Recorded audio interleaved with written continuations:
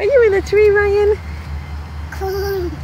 Are you uh, a monkey? no. No? Are you a panda bear? No. Are you gonna get covered in ants because you keep putting your face down on the tree? Maybe.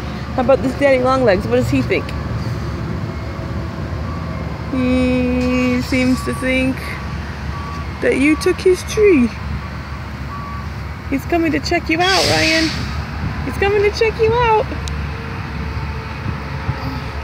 that spider's coming to check you out. He's getting closer.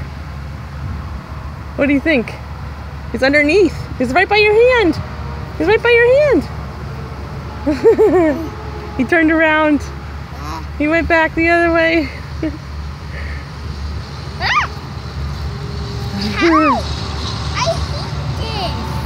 I hate this. You hate it? You want to get down? Ah.